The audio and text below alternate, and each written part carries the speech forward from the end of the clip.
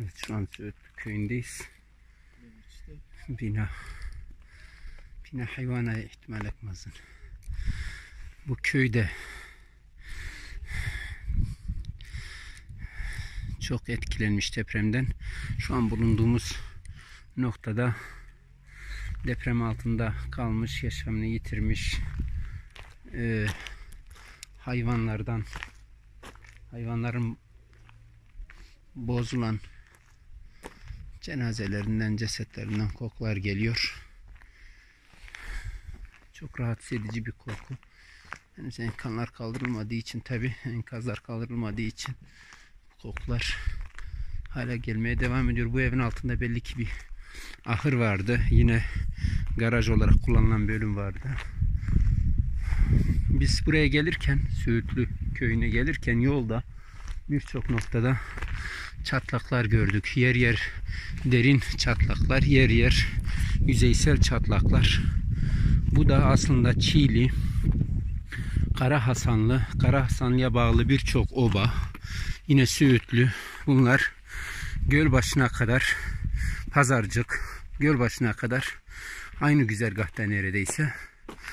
Zaman zaman köylülerin konuşmalarına tanık olduğumuzda kendileri de sanki buranın tamamının fay hattı üzerinde olduğunu ve bu nedenle bu kadar ağır hasar aldıklarını söylüyor ama tabi insan etkeni de çok fazla. Yani bazen hemen yanı başında sapasağlam ayakta duran bir ev ama bakıyorsunuz bir evde tamamen enkaza dönüşmüş. Şu an bulunduğumuz Söğütlü köyü de öyle. Bakın bu köyü görüyorsunuz. Bütün ova görünüyor bu köyden.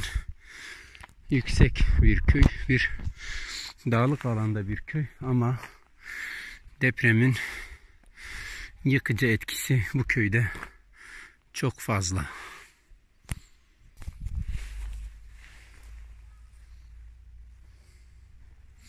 Evet, traktörde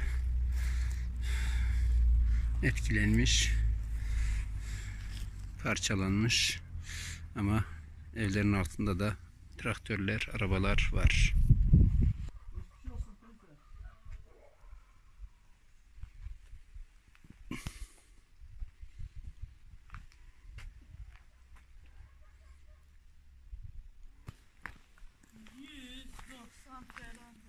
...90-100 haneli bir köy. Köyde can kaybı var mıydı? 15. 15 kişi yaşamını yitirdi. Çok sayıda ev yıkılmış köyde. Hiçbiri evet. Ayakta kalanlar da ağır hasarlı. Siz burada mıydınız deprem sırasında? Yok biz Almanya'da geldik. Biz bu köyde oturuyoruz. Evet. Yakınlarınızdan enkaz. Zaten hepsi 7 kişi benim eşimin amcasının amcasının oğlu. Torunları Maraş'ta kalıyordu. Evet. Hepsi kaybettik. Daha olanı çıkarmadılar. 11 yaşındaki. Şeyde Maraş'ta. Maraş'ta. Maraş'ta hala. Bu köyde kaç kişi köyün içerisinde merkezde kaç kişi yaşamını yitirmişti? Köydeki enkazda. 9 kişi. 9 kişi. 9 kişi. Diğerleri Maraş'ta. e, Diğerler 5 kişi Maraş'ta. 5 kişi Maraş'ta evet. 14 kişi Söğütlü'de yaşamını yitirdi. Dulkadiroğlu ilçesine bağlı bir köy Söğütlü. Ve bu hattın tamamında aslında deprem yıkıcı bir etkiye etki göstermiş. 9 kişi köy merkezinde, 5 kişi de Maraş'ta enkazın altında kalarak yaşamını yitirmiş. Başınız sağ olsun teyze. Sabır diliyorum. Sağ olun. Evet. 90-100 haneli bir köy Söğütlü. Aslında dağın yamacında yani dağın dağlık bir e, alanda biraz önceki görüntülerde gördüğünüz ovanın tamamı göz alabildiğince görünüyor karşıki dağlara kadar. Ancak evler bu yıkılan hemen yıkılan evin hemen yanı başında bu üç katlı yapı ayakta ama e, çatıları dökülmüş biraz. İç tarafında da evlerin aslında sağlam olan evlerin dahi taraflarında duvarların patladığı belirtiliyor. Yolda geldiğimizde güzergahta, yol güzergahında yer yer derin çatlaklar, yer yerde yüzeysel çatlaklar dikkatimizi çekti. Daha önce gittiğimiz köylerde de benzer bir şey vardı. İş makineleri burada. insanlar bazı enkazların altından zarar görmemiş eşyalarını çıkarıyorlar zaman zaman. Şu an köy meydanının olduğu yere geldik. Burada bir afat çadırı var. Hemen orada da köylülerin kurduğu çadırlar var. Konteynerlar e, var. E, yani sen ne diyeceğini bilemiyor gerçekten. Çocuklar oyun oynuyor. Merhabalar, geçmiş olsun. Geçmiş olsun. Heh. Konteynerlar sizlerin konteynerları herhalde. Yardımla mı geldi yoksa şahıs şahıs konteynerları? Evet.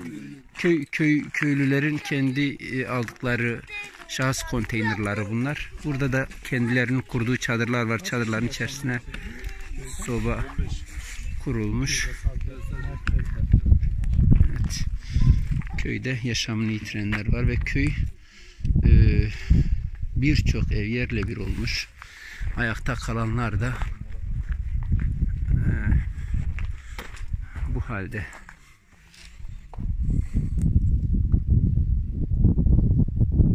Tabi dışarıdan hiçbir şey olmamış gibi e, ağır hasarlı değilmiş gibi görünen evler var ama evlerin içinin kullanılamaz halde olduğu söyleniyor. Bunlar yapı denetim e, uzmanlarının yapacakları tetkikler sonucu netlik kazanacaktır büyük ihtimalle. Evet burada da evet tek tük yani gezdiğimiz dolaştığımız e, birçok köyde e, köyün içerisinde bazı evlerin önünde afat çadırlarını da gördük. Bazı e, evlerin önünde de insanların kendi imkanlarıyla kurdukları çadırları gördük. Henüz herkese çadır ulaşmış değil. E, bunların e, bir bölümü merkezden gidip çadırlarını temin edebilmişler. Ancak o imkanı olmayanlar AFAD'ın çadırlarına henüz ulaşamamış. Bunun için de aslında ciddi bir dayanışma gerekiyor. Yani aracı olanlar aracı olmayanlara yardım edip bu ihtiyaçlarını eğer çadır da varsa giderebilirler ama zaten genel olarak çadır konusunda bir e, sıkıntı var. E, yetişemiyor. Her yere yetişemiyor. Bu ev tek katlı bir ev değil. Bu ev iki katlıydı. Şuradan kırılan e, kolonu görüyorsunuz. İki katlıydı ama şu an gördüğünüz gibi tek katlı bir ev. Odunlu merdiveni böyle. Burada bir delik açılmış. Artık insanlar muhtemelen o, ha, orası iş makinalarının olduğu bir yer. Burada bütün zirai makinalar enkazın altında yani bu insanlar yarın öbür gün toparlansalar bile buradan belli ki araç çıkarılmış zarar görmüş ama aracı enkazın altından çıkarmışlar. Tabi çok tehlikeli yani bu aracı buradan çıkarmak bile çok tehlikeli. Burada da bir yapı var ama görebildiğim kadarıyla bir ahır hayvanların barınağı. Bu da yerle bir olmuş. Tabi sadece insanlar değil. Her yayında tekrarlıyorum. Aslında benzer şeyler söylüyorum ama sadece değişen çoğu zaman maalesef ama maalesef rakamlar oluyor. Köy isimleri oluyor. Teknik bilgiler oluyor ama onun dışında yaşananların tamamı birbirinin aynısı ve bu videoları da sizlerle paylaştığımda sanki bazen kendimi bir döngünün içerisinde hissediyorum. Şu karşı kayalığı görüyorsunuzdur. Kayalar kaya parçaları sökülmüş, dökülmüş aşağıya kadar. Ve orada bir yarık var. Bilmiyorum siz ne kadar görebiliyorsunuz buradan ama cep telefonuyla çektiğim için e, onu yakınlaştırabilme imkanım yok. Ama zaten yolda da benzer daha derin yarıklar zaman zaman bazen de yüzeysel yarıklar görmüştük. Sizlerle paylaşmıştık.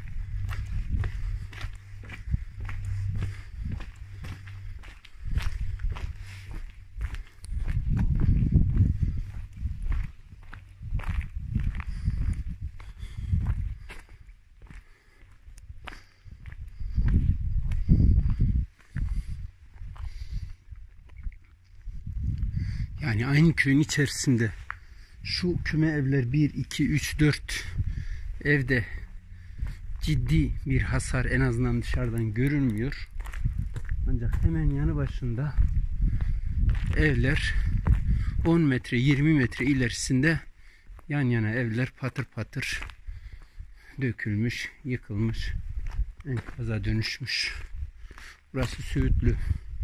Maraş'ın Dulkadiroğlu ilçesine bağlı bir köy ve dağlık bir alanda ve bu köyde deprem birçok evi yerle bir etti.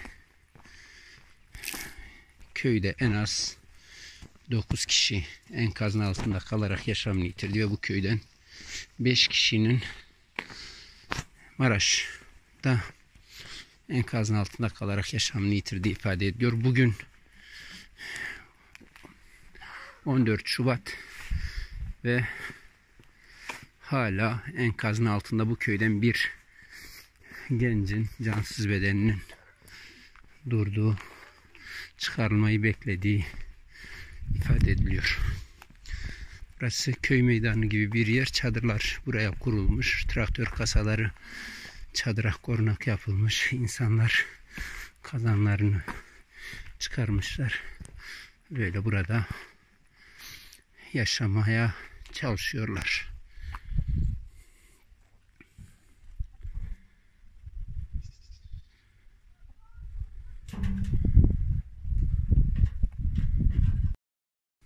Kalanlar da aç, susuz, barınacak yerler olmadığı için soğukta telef oluyor. Onları da zaten artçı depremler devam ettiği için hiçbir Evet, şekilde aynen, koyamıyorsunuz aynen. yani ayakta kalan yapılara. En azından dört tane büyük şu Cemen yanında kurdukları büyük çadır var. Çadır gelse Evet. idare edeceğiz. İkişer ikişer kullanacak. iki kişi kullanacak. Evet. Tabii yaz Devlet de koşullarında olsaydı görmedi. Devlet de hiç yardım daha şu ana kadar gelmiş değil. Halk yardım ediyor ama devlet... bu AFAD çadırlarını gördük. Onları buraya getirmediler mi kendileri? Hayır bunları e, mesela bizim oğlan avukat Evet. İzmir'de kalıyor. Gelirken e, ikisini Türk oğluna aldı. ikisini İzmir'de getirdi. Afa çadırlarını. Burada alamadılar. Bu Cemen'in oraya kurulan küçük çadırlar devletten geldi sanırsam. Evet. Başka da devletten bir şey görmedik. Daha devletten hiç kimse ne geldi ne soran ne geldi. Evet buralar tabii köyler. Biz gittiğimiz birçok köyde benzer e, durumlar vardı. Henüz ilçe merkezlerindeki o koordinasyon tam sağlanabilmiş değilken tabii buralara ulaşmak daha zor ama e, sivil toplum kuruluşları Bekliyoruz. e, devlet evet bekliyor ama zaman geçiyor. İnsanlar yaralı. Hayvanlarımız e, perişan, aç, susuz, barınakları yok. Kaç hayvan şu Efendim? an köyde var? Kaç hayvan var? En az Sağ. bin tane vardı. Şimdi yine var. e, Küçük baş altı değil mi? kaldı. Küçük baş hepsi. Büyük baş da var. Küçük baş da var. Burada köyde kalanların geçim kaynakları hayvancılıktır. O da e, böyle olunca yani ileride zor göreceğiz. Mağdur, daha çok mağdur olacağız. evet insanlar için yardımlar geliyor ama bir de başka köylerde de aslında biz yem ihtiyacı mesela var demişlerdi. Köyde, Tamam, e, gündüz, evet, hı hı. Evet. bir- Yine ufak bir şeydir ama yapmadılar. Devlet yardım ediyor. Tespit ettiler, gittiler bir daha gelmediler. Hı hı. Yapı denetimi için geldiler mi? Hayır. Biz Çiğli'deyken Çiğli'de başlamışlardı yapı Hayır, denetimine. buraya- Hayır daha gelmediler. Evet. Çok Jandarma geçmiş olsun. Bir devreye dolaşıp gidiyor. Başka devletten gördüğümüz kimseye bir şey yok. Çok geçmiş olsun. Sağ olun hepinize. Devletimizin hepsine geçmiş olsun. Evet. Herkesin Evet. başı sağ olsun. Evet. Herkesin başı sağ olsun gerçekten. İyi bakın kendinize. Sağ olun. Hoşçakalın. Evet köylerde tabi durum e, sadece insanlar açısından değil hayvanlar açısından da çok zor. E, zaten enkazın altında kalmış birçok hayvan var ve hala bu Söğütlü köyünde bine yakın küçük ve büyükbaş hayvan olduğu ama yem sıkıntısı var, barınma sıkıntısı var. Geceleri soğuk olduğu için e, evler de yıkılma tehlikesi altında olduğu için kimse e, bu evlerin altına koymuyor, ahırlara koymuyor. E, dışarıda da e, tutacak halleri yok bu soğukta. O yüzden hayvanlar içinde barınak ihtiyacı, yem ihtiyacı var. E, bunu da biz e, buradan duyuralım e, hayırseverlere, yardım yapmak isteyenlere. Evet. E, gittiğimiz bazı köylerde daha karşılaşmıştık. Jandarma ara ara devriye geziyor. Herhangi bir problem var mı yok mu kontrol ediyor. Köylülerle görüşüyor. Ve her köyde bu devriyeler devam ediyor. Biraz önce konuştuğumuz e, beyefendi de aynı şeyi söylemişti. Jandarma devriye geziyor. Onun dışında ilk günlerde tespit için ekiplerin geldiğini ama daha sonra bir daha köye, köye gelmediklerini söylediler. Biz böyle köy köy dolaşıyoruz. Bunları yayınlıyoruz. Umarım yetkililer, hayırseverler e, bunları görüyordur ve ona göre bu köylüleri dinledikten sonra yapmak istedikleri yardımları ulaştırmış olurlar. Evet Söğütlü'den de aktaracaklarımız e, bu kadar. Şu an saat 3 sabahtan beri köyleri dolaşıyoruz. En son Söğütlü'ye geldik. Devam edeceğiz. Yol üzerinde farklı köyler varsa onları da sizlere göstermeye çalışacağız. İyi bakın kendinize. Hoşçakalın. Söğütlü'deyiz. Ee, isminiz neydi abi? Şahin, Beyefendi e, Soğuk Bingöl Soğuk Çeşmesi. Soğuk Çeşme köyünden gelmiş kepçesiyle gelmiş buraya yardıma. Tabii bu köye gelmiş ama köye ulaşana kadar köydekiler e, cenazelerini enkazın altından çıkarmışlardı. Kendisi mezar e, açma konusunda yardımcı olmuş. Şu an burada bekliyor hala. Bugün depremin 9. günü ancak kendisine e, ihtiyaç duyulursa kalabileceğini söylüyor. E, beklemede şu an. E, nasıldı? Siz geldiğinizde neler hissettiniz? Valla çok kötüydü. Geldiğimizde her yer damladan. Ortalık felaket. Cenazeler vardı zaten. Köyler kapalı. Ulaşım yoktu zaten. Doğudan işte Bingöl'den bayağı bir yardım geldi. İlk zaten buraya yetişen Bingöl'den yetişmiştik Evet. köyden. Bu yol üzeri mi yoksa sizi yönlendirdi mi birileri Bizi, buraya? e, bizim bir köyden buradan evli bir arkadaşımız. Ha onun vesilesiyle buraya geldik. Evet. Sağ olsun o da aradı makineyi getirdik. Buran abimiz var makine sahibi. O yolladı. Bir haftadır burada gece gündüz bekliyoruz. e, iyi. Kolaylıklar Çok diliyorum size. Toparlandı. Biraz hayvanları telef oldu. Evet. Büyük baş küçük baş. Onlar telef oldu. Onlar altta kaldı. Büyük bir makine olsaydı belki onlar da kurtulurdu. Evet. İşte bunun gücü yetmiyor. Ufak makine olduğu için gücü yetmiyor. Tabii ancak bir yere kadar bu makine enkaz Büyük bir makine kaldırabiliyor. olsaydı enkazları kaldırabilirdi. Evet. Evet jandarma da şu an köyleri dolaşıyor. Kendilerine bir görev verilmiş. Ekip ekip köyleri dolaşıyorlar. Her biri bir mahalleye dağılıyor. Yaptıkları şey e, yıkılan evlerin e, resimlerini çekiyorlar, fotoğraflarını çekiyorlar. Kime ait olduğunu belirliyorlar muhtarla birlikte ve daha sonra çekiliyorlar. Yani e, biraz önce başka köylerde de Yeni Oba'da görmüştük. Kara Hasan e, köyünün Yeni Obası'nda da görmüştük. Yani jandarma dolaşıyor. e, hem devriye görevi yapıyor hem de e, yıkılan evlerin fotoğraflarını çekip kime ait olduğunun tespitini yapıp daha sonra dönüyor. Böyle bir görevleri var. Biraz önce bir e, jandarma eriyle görüştüğümüzde de kendisi bu bilgileri bizimle paylaştı. E, hiç durmadan köy köy oba oba dolaştıklarını ve böylece yıkılan evleri e, fotoğrafladıklarını söyledi. İçini açabilirim. Hı hı. Evet buraya yardıma gelenler tabi onlar da hem depremzede hem de şöyle açayım. Ee, şurada battaniyeler var. Ee, Kepçe'nin operatörü Bingöl'den e, gelen operatörü e, Kepçe'nin içerisinde uyuyor gece gündüz. 9 gündür e, yani bugün 9. gün kendisi ikinci gün e, yetişmiş buraya ve e, burada insanlara yardım etmeye çalışmış. Bazı hayvanlarını enkazın altından kurtarmış. Çünkü gelene kadar insanlar e, köylülerin e, cansız bedenini çıkarmışlardı ya da sağ kurtulanları çıkarmışlardı enkazın altından. Ancak e, bazı noktalarda ağır beton bloklarını kaldırmaya gücü yetmediği için bu iş makinesinin e, ancak bu kadar yapabildiğini söylüyor. Evet Söğütlü'den sonrası artık köy yok. Maraş tarafına geçmek lazım. O yüzden biz de tekrar geri döneceğiz. Söğütlü son durağımız oldu bu bölgede. Zaten son durağımızda da büyük bir yıkımla karşı karşıya kaldık.